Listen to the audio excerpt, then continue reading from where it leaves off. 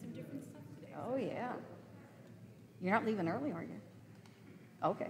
Sometimes people leave early to go do their communion things. Okay. Oh.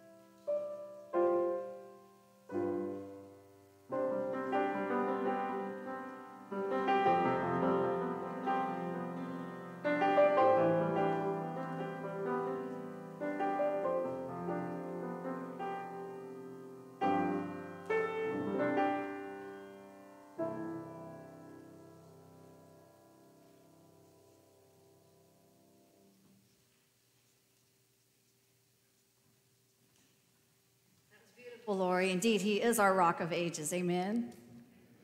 Welcome to all of you here today on this holiday uh, weekend, Sunday of Memorial Weekend. It's good to see all of you here in person, as well as all of our folks who may be worshiping online with us. Thank you for joining us as well. I uh, want to lift up just a few items, of course. If uh, you have not already picked up your communion packet, the two in one packets are available on the table right outside the sanctuary. Um, you will need it for later in the service. And there are some special ones that are already started if you have trouble peeling those little tabs. So uh, there's a couple of those out there for you. Just a reminder that due to the holiday tomorrow, our church office will be closed. We will be back at it on Tuesday morning at 8 in the morning. This week, elders, you will be meeting on Wednesday at 5:30 uh, via Zoom. Is that correct, Mr. Bob? Yep. Okay, good. So, um, oh, Andy, I'm sorry, I skipped. I skipped ahead of you. I apologize. So uh, I wrote in a note and I skipped it. Uh, today, we are starting a new worship series. My God is a rock. And uh, as you notice, we have lots of rocks here for um, decoration. Hopefully, you noticed them as you walked in to the church today as well. And so, for four weeks, we're going to be um, going through some of the Psalm, Psalm verses and chapters, and uh, hearing how God is our rock, how He how we can be led to the rock. He's our shelter, and um, so we hope that you will join us for the next actually five weeks. Next week, we will take a quick little break from our series. I know after starting it today, Miss Diane is going to be gone next Sunday. And so um, our regional minister, Carolyn Reed, will be joining us next Sunday. So we hope you will join us so we can give her a warm Hazelwood welcome next Sunday. And then we will start the series again on June 13th. and speaking of next Sunday, to prepare for the second week of our series, when you come into worship, there's going to be some folks in the entryway with some colored pieces of construction paper. And uh, if you would be so kind to step onto those pieces of paper for us so that we may trace your feet.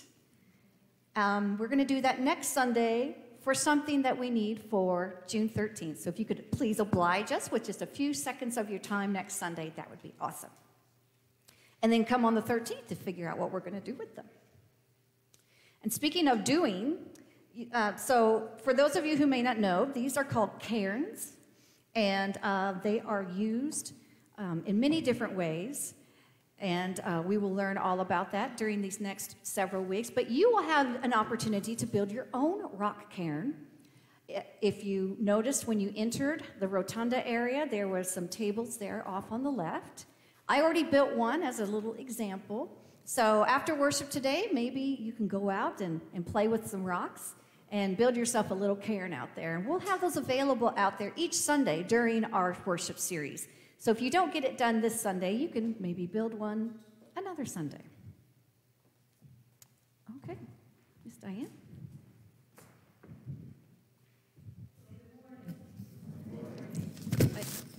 Lost this. Okay.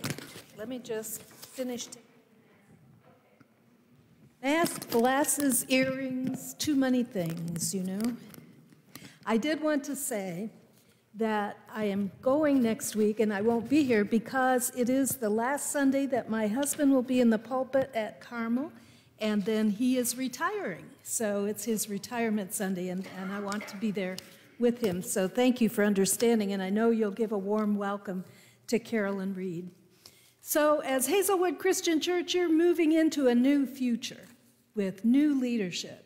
And so it is good that we come together and that in worship and during the week in our prayer time, we do remember that we are not alone, that we go through this present time and into the future with God as our rock. And so we begin this series to remind ourselves that God is always with us for we believe that God is our rock and our fortress, a deliverer who delights in coming to the aid of those who seek the Lord.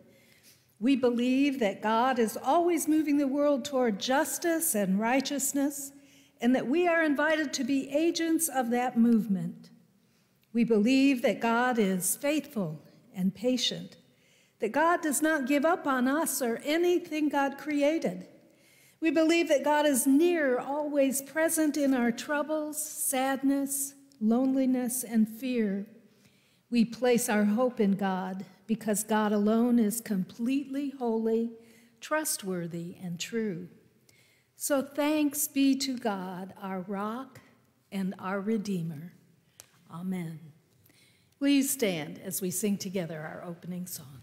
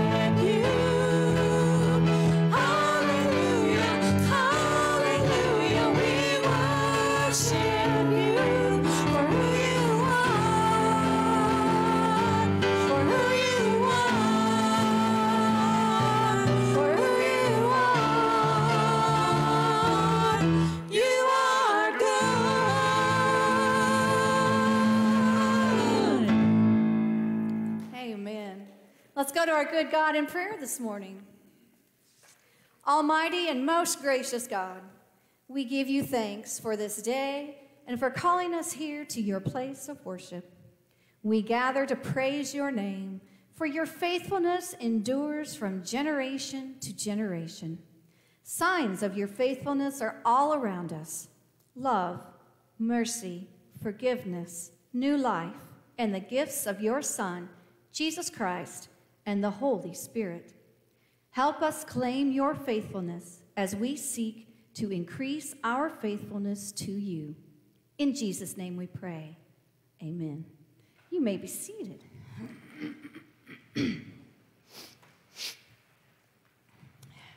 so, I neglected to, to, mention something real quick you might want to know before the end of our service today. Um, for our series, we will be singing a benediction refrain each Sunday after Miss Diane gives our benediction. And so we will be introducing that to you today. And then each Sunday we will be singing it. So hopefully by the end of the series, you'll be good and comfortable to sing it with us. so for our children's moment today, I am simply going to give a children's blessing. So um, we do not have any children here with us in the sanctuary, but children at home, parents, if you are near your children, if you would want to lay your hand on them, either their shoulder or their head, or maybe hold their hands while I give this blessing on them. Children, may you remember this week that God is your rock. He is steady and strong. You can know that God is good all the time, and all the time, God is good. Even when life isn't good or people aren't good, God is always good and gives you strength to face anything, anytime. May God bless you, children. Thank you.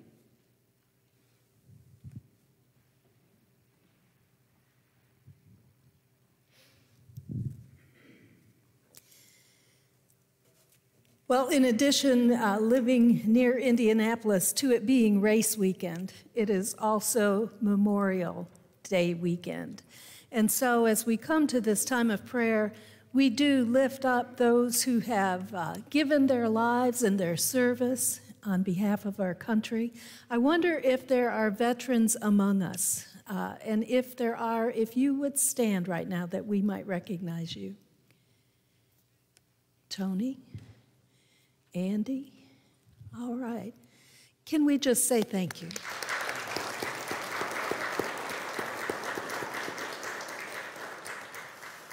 For we are so grateful that you took your time and uh, spent that time helping to protect us and keep us safe.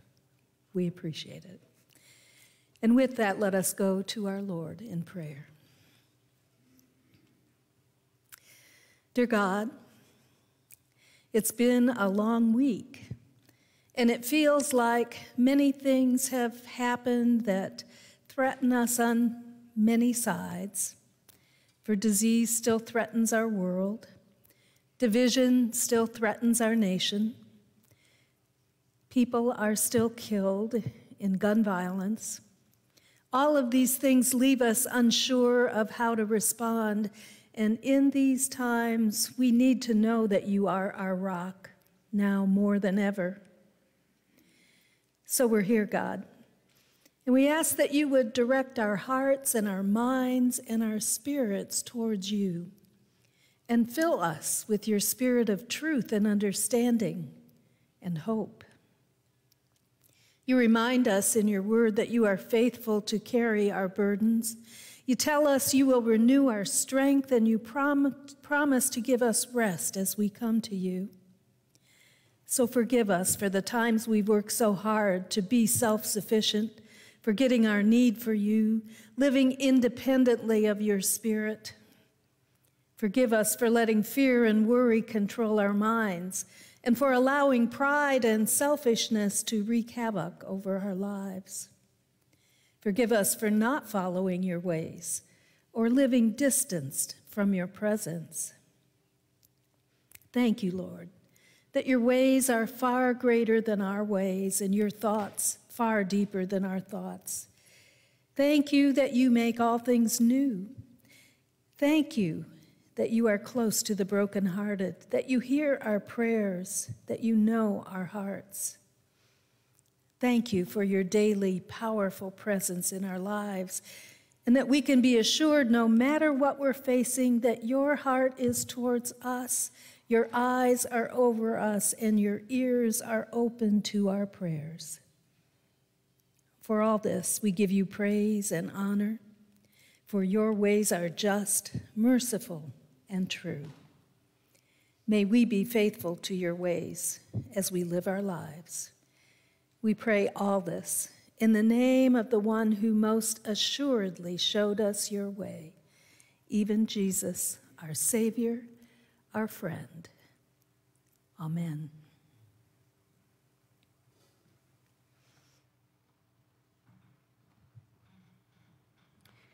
Our special music today is participatory should you choose to join us um, on parts. This is a fairly new song um, by David Crowder, and it um, came out just in time for our, our series um, for this, this, this Sunday right here uh, Good God Almighty. Sometimes people use that phrase in a bad way, but it can also be used in a good way. So I'm going to teach you real quick there's going to be an echo part that Wendy will lead, and then um, we will echo her. Let me find the pitch for you. Uh, we will answer. That's right, not answer. So she's going to go. Tell me, is he good? He's good. Tell me, is he God? He's God. He is good God Almighty. So you're going to get a chance to do that just a couple times. But I've also got the words up there for the chorus and another little fun part. Just sing. God just loves to hear his children praise him. Wait.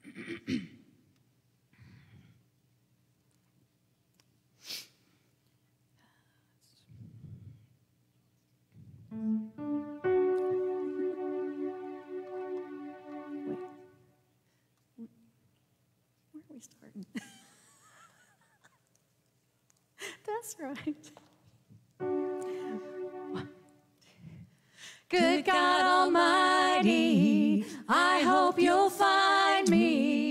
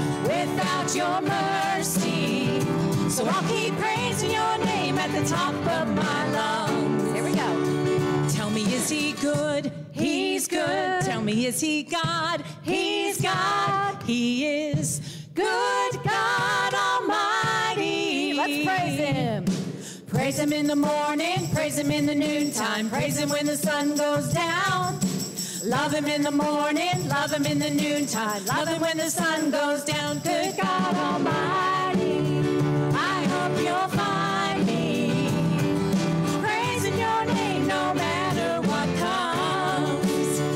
Cause I know where I'd be without your mercy. So I'll keep praising your name at the top of my lungs. Tell me, is he good?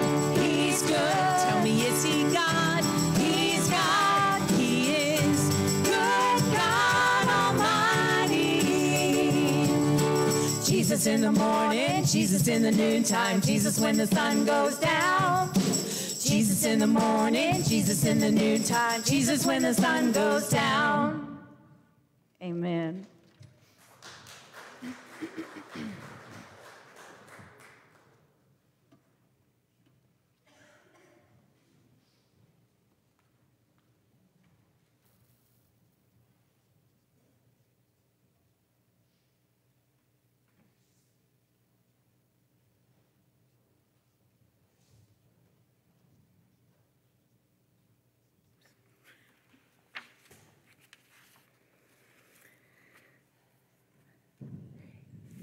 Hear these words of hope from the Hebrew scriptures.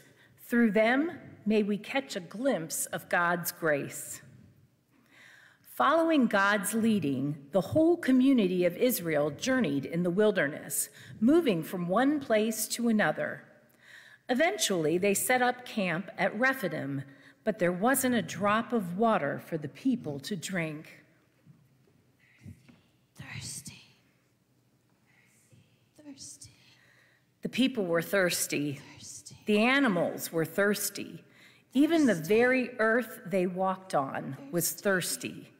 They begged Moses in desperation, Give us water to drink. But Moses said, Why are you complaining to me? And why are you trying to put God to the test? But the people were so thirsty, they continued to implore him. Please tell us we didn't come all this way out of the horror of slavery in Egypt, across the Red Sea, through miles of desert wilderness, to die here of thirst. Then Moses cried out to God What should I do with these people, my beloved community? They're about ready to pick up all these rocks and hurl them at me. God said to Moses, Take some of the leaders with you and go on ahead of the rest of the people.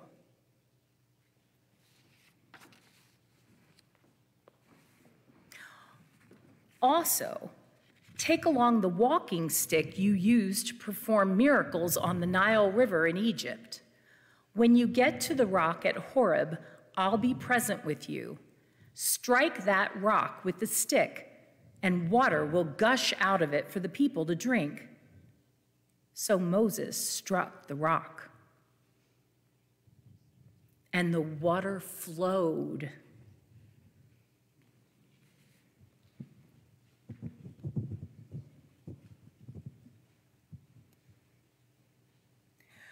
Moses named the place Massa, which means test, and Meribah, which means complaining, because the people of Israel had complained to Moses and tested God when they said, Is God here with us or not? And our second scripture reading is from Psalm chapter 18, verses 1 and 2. I love you, O Lord, my strength. The Lord is my rock, my fortress, and my deliverer, my God, my rock in whom I take refuge, my shield and the horn of my salvation, my stronghold. This is the word of the Lord.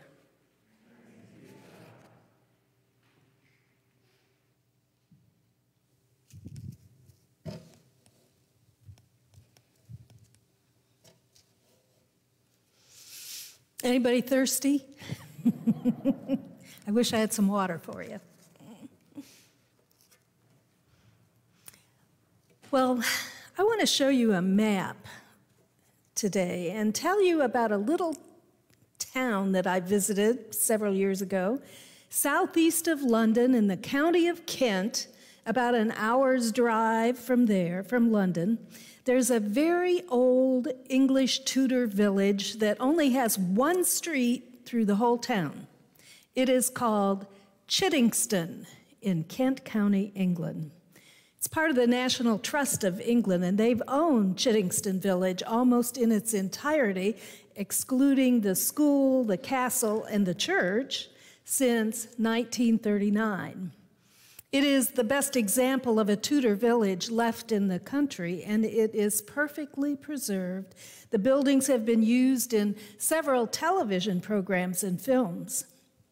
Well, near the town center stands an exceptionally large stone which has been there for centuries.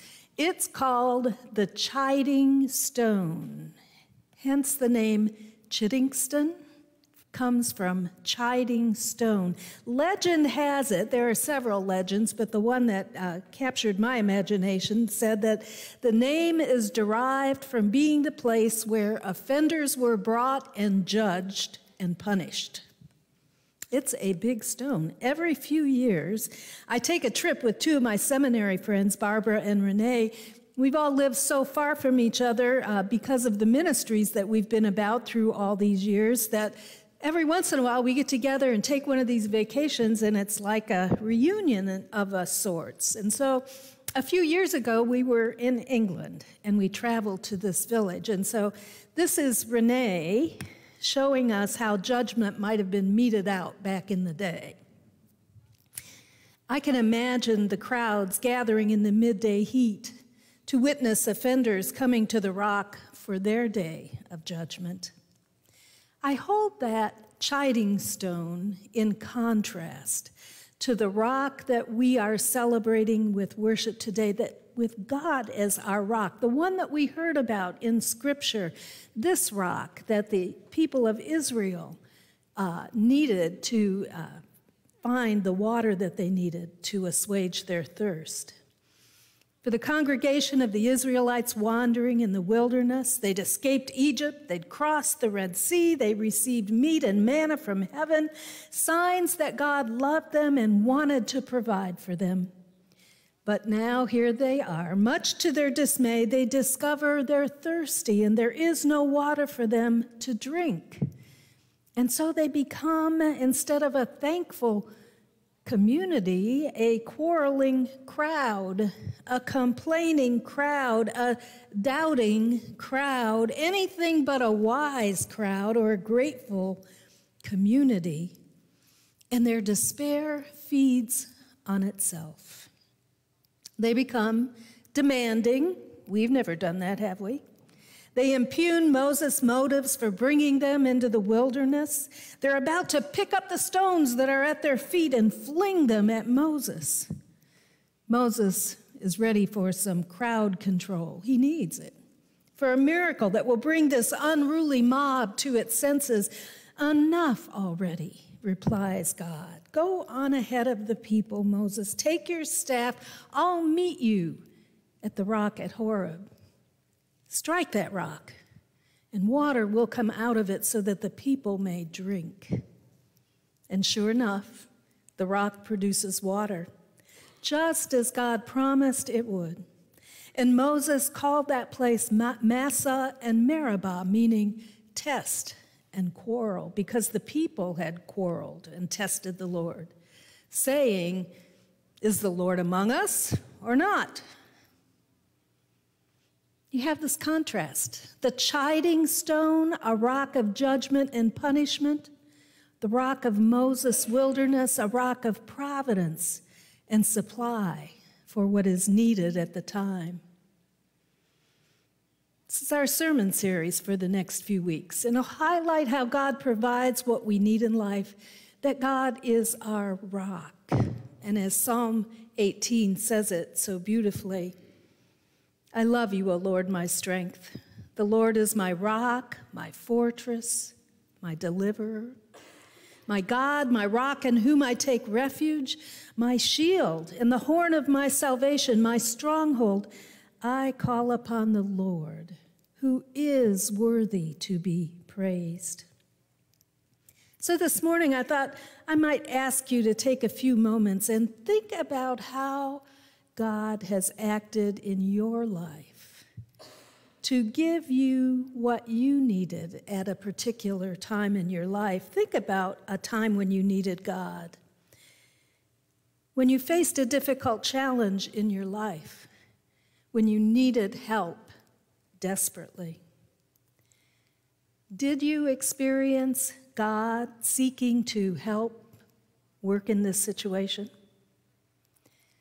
And be honest, did it take more time than you thought? Or did it seem to never come at all, leaving you frustrated and worn out? But did God find ways to be available to you, to provide for you in that time? And then think about this how long did it take you to figure that out? How long did it take for you to be thankful about that?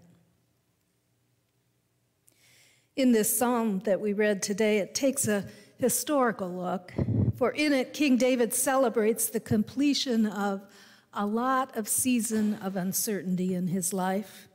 And he sees in his life the faithfulness of God, the experience of God's kindness and deliverance. Perhaps you can think of a similar time, a moment when you could breathe a sigh of relief because your nightmare had finally come to an end.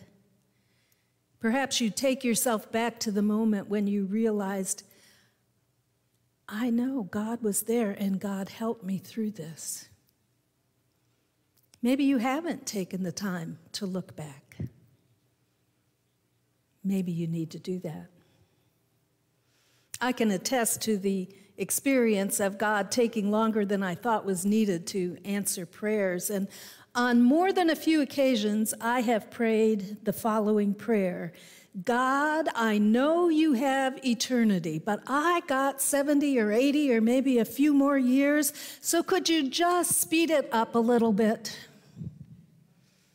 If we're honest, we all get impatient with God at times. Like the Hebrew people in the wilderness, we complain. God listens to our prayers, God listens to our needs, even when it comes as criticism rather than praise. Why'd you bring us here? To die of thirst? They complained. God could have shook off those questions and left them to fend for themselves in the wilderness, but instead, God made a way for them to find what they needed. Perhaps we can learn a few things from God about how to accept criticism when it comes our way. God did that, accepted the criticism, and lived out grace even in the midst of that criticism. Moses did too. Moses took the criticism of the people and he did these things with it listened to the people, continued to listen. You know, when somebody's giving you criticism, do you, it, it's so easy to do, we all kind of do it, take a step back and just kind of shut yourself off from it. Don't want to hear it, don't need to hear it, not going to listen. But God still listened. Moses listened to the people. Even the most intentionally hurtful criticism has a grain of truth buried in it. And in Moses' case, the Israelites' complaint reminded him of how dependent those people were on him for their constant care and well being. And it confirmed to Moses his dependence on the Lord for his strength and ability to meet the needs and to lead the people. Moses, God, in the midst of criticism, continued to listen. Second, Moses did this. He learned from this situation. He learned that he could not do everything himself. You know, one of the critical moments, comments that Moses heeded came not from the Hebrews, but from God. When Moses felt at a loss and overwhelmed and berated by his people, God said, Get some others, get some elders. Lean on somebody else in addition to yourself. Take the elders with you. And it's a good reminder for us that when we're feeling down or criticized or at sort of at the bottom of things, God says, don't try to do it all alone. You have this community. You have each other. Let them, let me be a part of going with you to face whatever it is in life that you need to face. Moses was used to doing things on his own, taking the big risk alone, but God didn't want just a hero and just one leader. God was building a community of faith.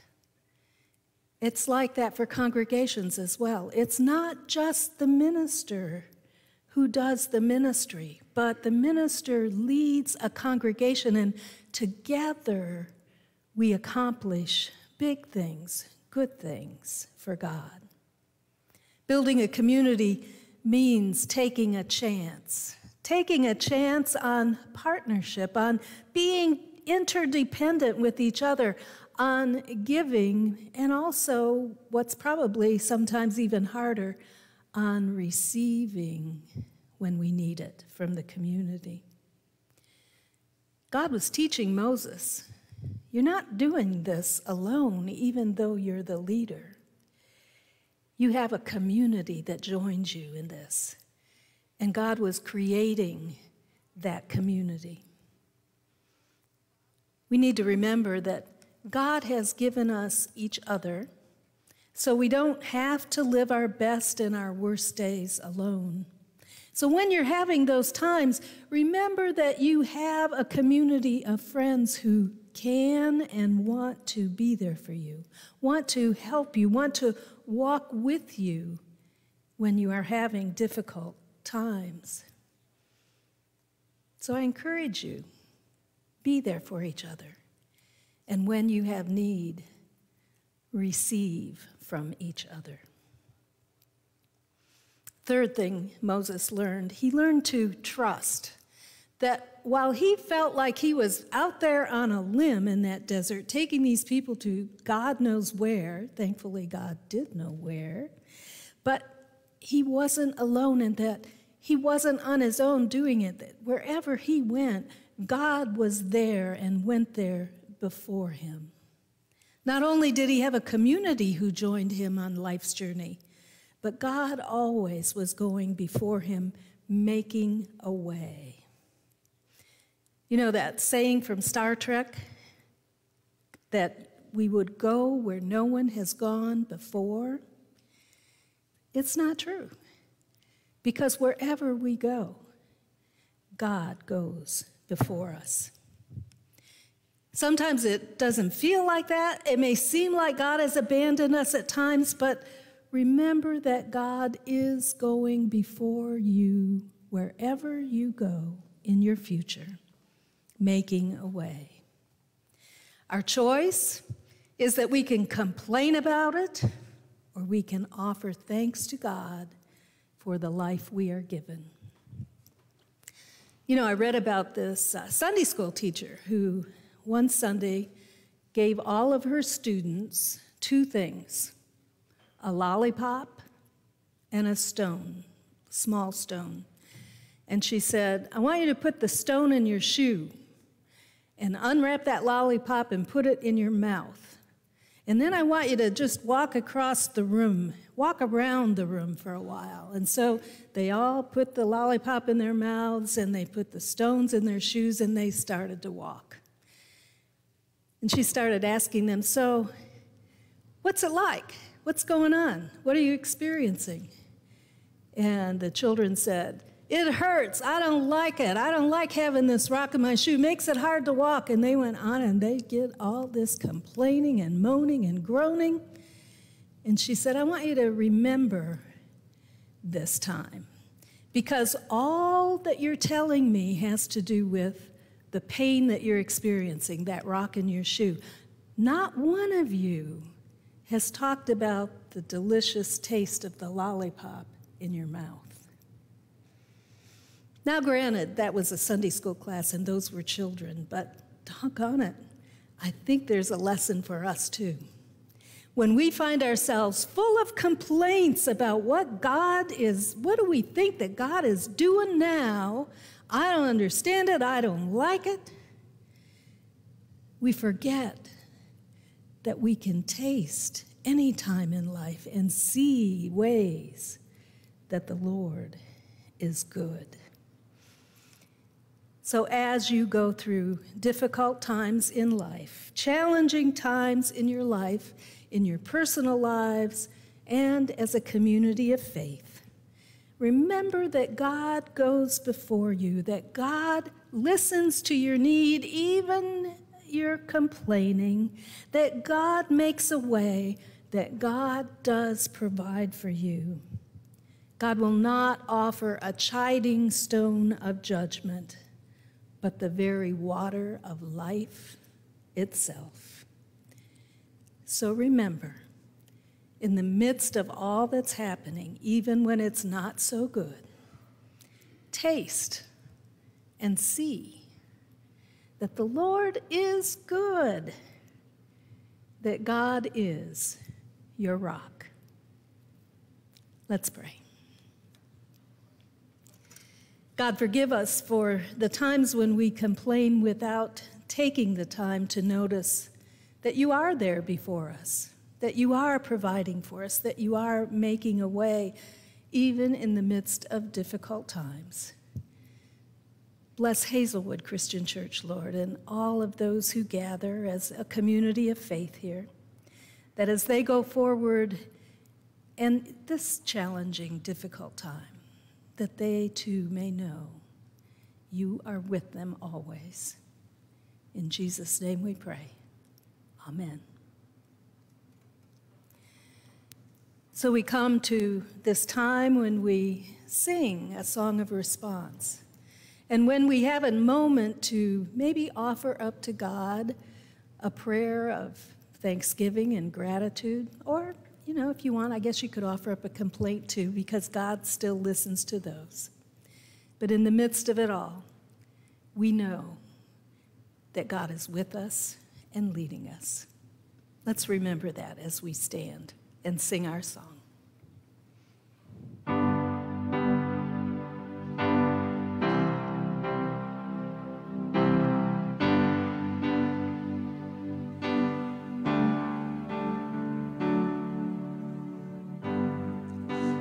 Amazing love that welcomes me, the kindness of mercy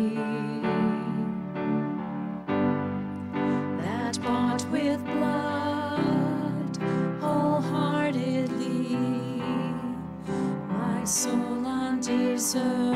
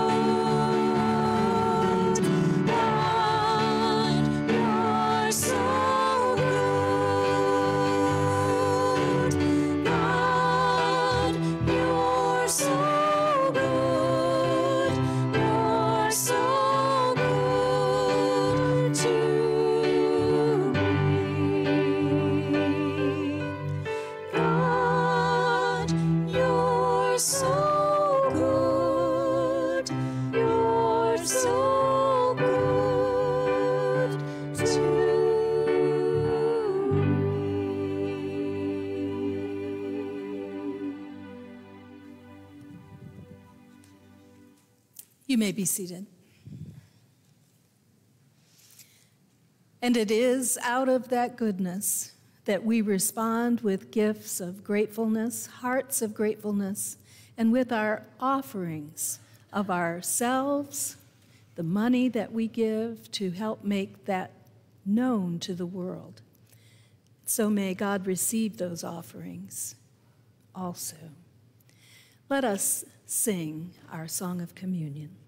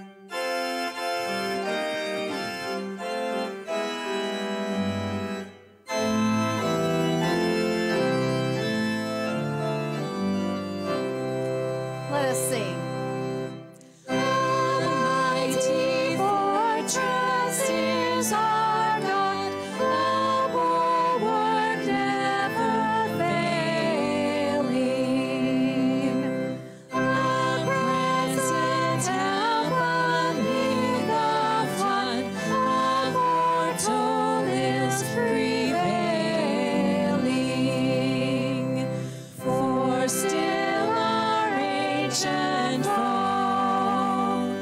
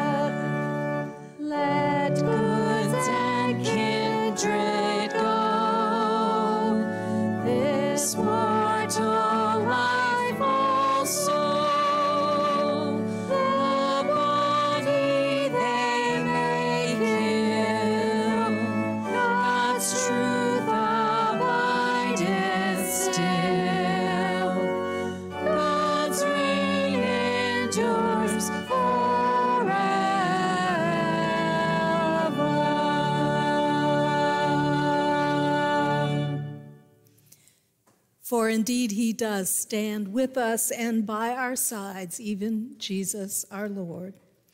You know, there was a little boy who was on a walk with his father, and they were walking along a road and they found this big boulder sitting on the side of the road. And the boy said to his father, Do you think if I push this with all my might, I could move it? And dad says, Well, go ahead, give it a try. So the little boy went up to it and just pushed with all his might. And he said, I, I'm just not strong enough. I can't do it. And father said, No, you didn't use everything you had to move it because you got my help. And together they were able to move that rock. It's what Christ offers us as we gather around this table. You're not pushing those rocks all by yourself. You got my help to do it too. And so, as Jesus took his community of friends, his disciples, and at that last Passover meal, he took bread and he blessed it and he broke it. And he gave it to them, saying, This bread is my body, which is broken for you to help you push those rocks. And every time you eat of it, do this in remembrance of me.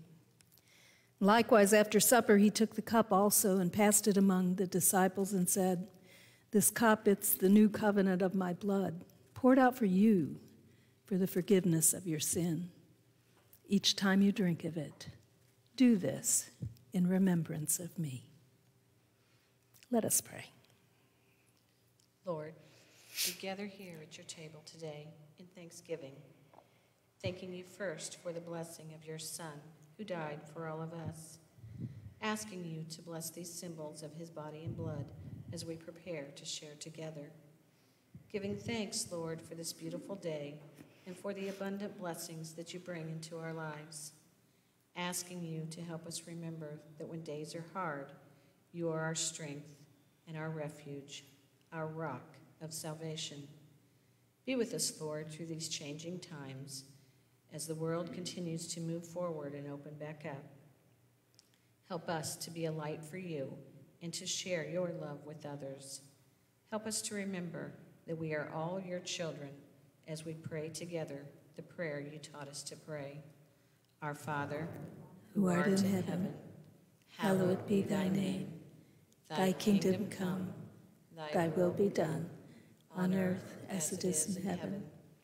Give us this day our daily bread, and forgive us our sins, as we forgive those who sin against us. And lead us not into temptation, but deliver us from evil. For thine is the kingdom, and the power, and the glory forever. Amen.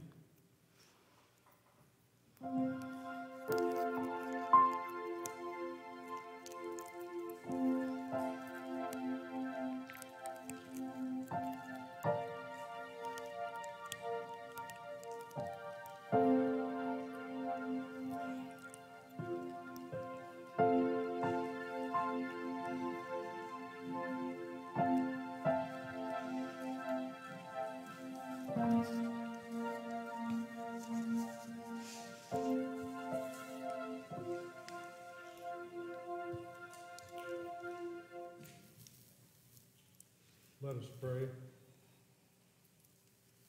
Gracious and loving God, our rock, on this Memorial Day Sunday, stir our hearts, O Lord, with patriotism and thanksgiving as we remember those who gave themselves for our safety and freedom. Bless our country with your wisdom, your love, and your compassion. O God, thank you for satisfying our every desire and need through every good and perfect gift you give to us, especially the gift of your Son. Your word says we honor you when we give back the first fruits of our wealth. Accept our tithes and offerings today as a gift of worship to you. Multiply our gifts to be used to further the work of this congregation in our community and beyond.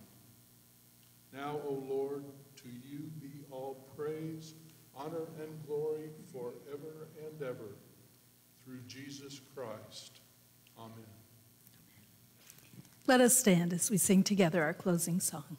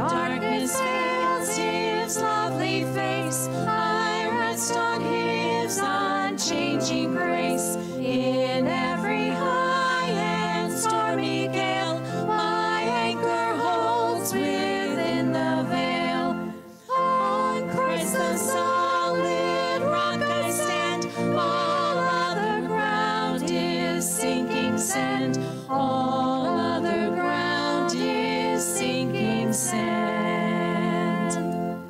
His oath, his covenant, his blood